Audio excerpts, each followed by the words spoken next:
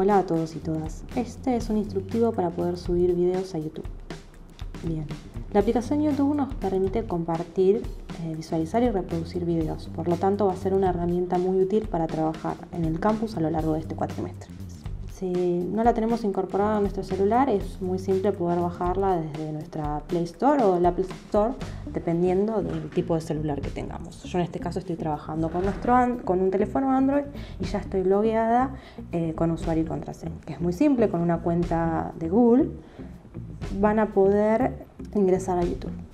Allí, una vez que estamos dentro de la aplicación, tenemos un sinfín de herramientas para poder visualizar y compartir videos. Por lo tanto, lo que a nosotros nos interesa es cómo hacer para compartir videos. En la parte superior derecha de la pantalla vamos a ver eh, las herramientas que nos van a posibilitar este trabajo. Tendremos que prestar atención si miramos de derecha a izquierda que tenemos nuestra cuenta, En este caso es la Q de la universidad porque estoy logueada en una cuenta de la universidad. Después tenemos un motor de búsqueda que es una lupa, pero lo que a nosotros nos va a interesar es el icono de cámara que se encuentra al lado de estos.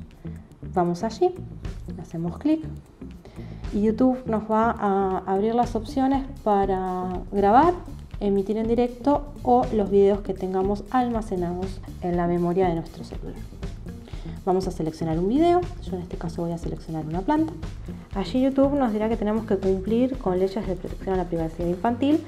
Además hay algo que tenemos que tener en cuenta, que siempre que le pongamos alguna música a nuestro trabajo, sea una música libre de derechos, porque si no YouTube no lo va a reproducir.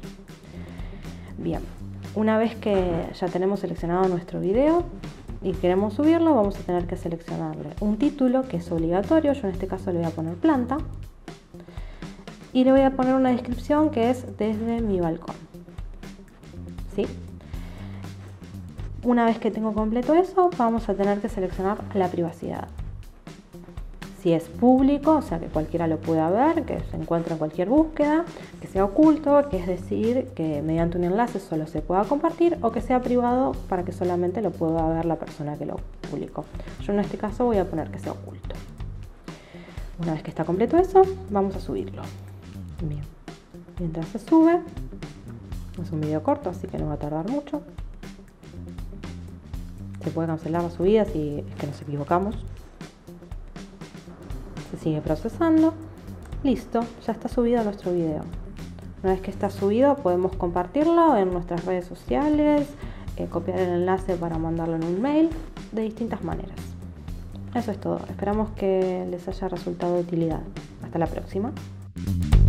thank you